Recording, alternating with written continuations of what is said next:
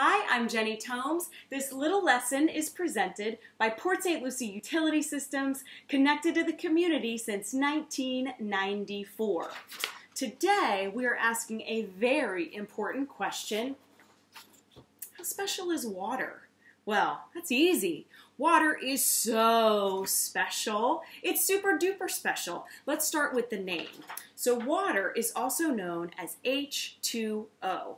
So H2O just refers to the atoms that make up a molecule of water. So the H stands for hydrogen. There's two hydrogen atoms. So here's a little picture of a water molecule blown up really big so you can see it. Actually kind of looks like Mickey Mouse, doesn't it?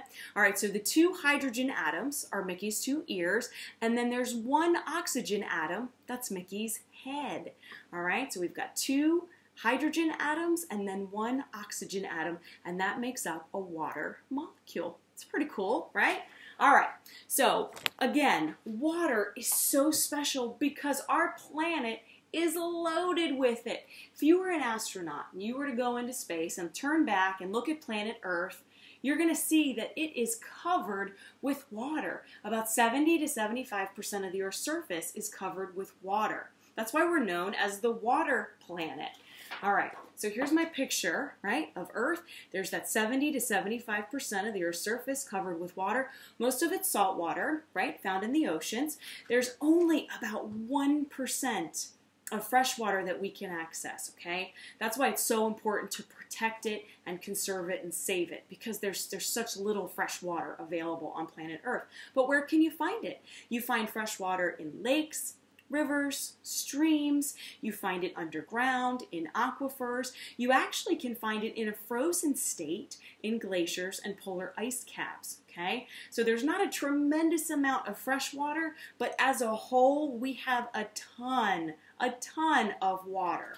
All right. Water is also really cool because it can be found naturally occurring in three different forms. Okay, so we have our liquid form, our solid form, and then our gas or vapor form.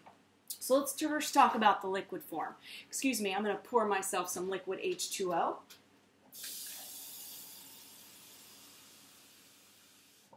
right. Ah, okay. So there's my liquid H2O. Now, we need this to survive, don't we? anything that's alive needs water to survive. Did you know that you can survive for three weeks without food, but only three or four days without water? That's how important it is. We need water to survive. Plants, animals, anything that's alive needs water to survive. That rhymed. All right, so water's actually really cool too because we use it for a ton of different things. Obviously, we use it to drink. We use it to cook with, we use it to clean dishes with, to wash our clothes with, to wash our bodies with. We use it to brush our teeth, to fill our pools, we play in it, right? There's so many uses for water. A family of four uses about 250 gallons of water every day on average. So we have a tremendous amount of water that we use every single day. So it's extremely important to our survival. Water's also really cool because it's a rule breaker, and I like that. So, water, it's all about the density of water. So, density just refers to, to its mass or volume, okay? So, just do a quick demonstration here, right? So, I have a little tiny rock, right? All right, so if I were to put this rock in this water, do you think it would sink or do you think it would float? All right, let's see. Strap it in. Boom, right to the bottom. Okay, see how little that rock is? It sunk right to the bottom, and that has to do with its density.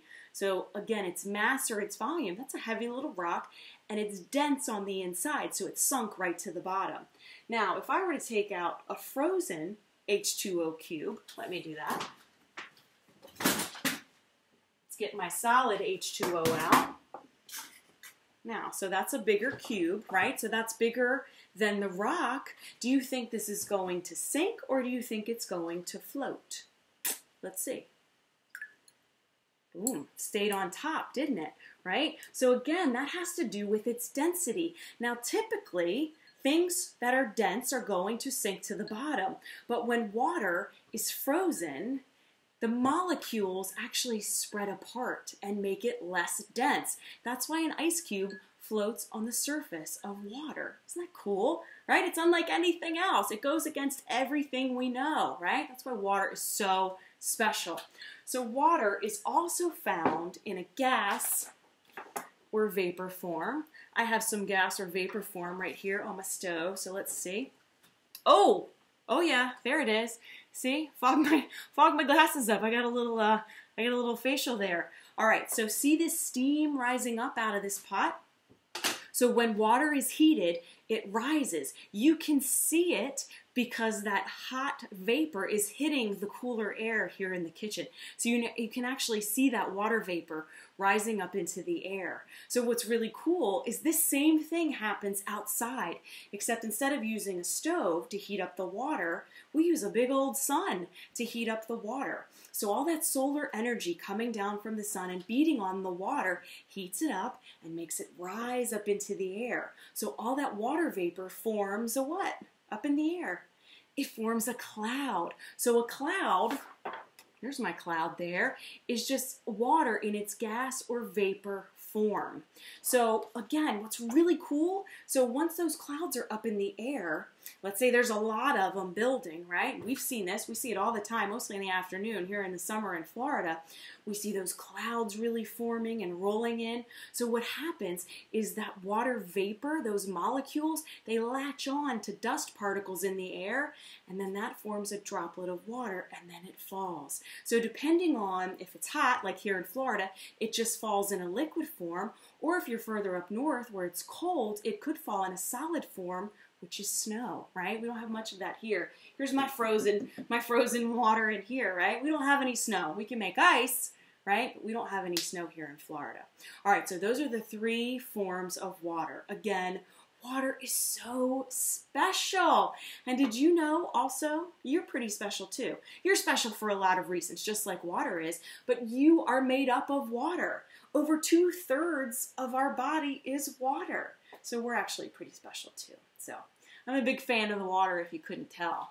Tell me if you're a fan. Send me an email at jtomes at cityofpsl.com.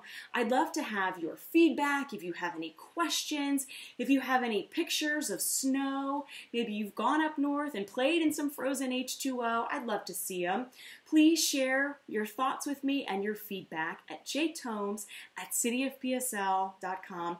Thank you so much for tuning in today. We'll see you next time on Little Lessons.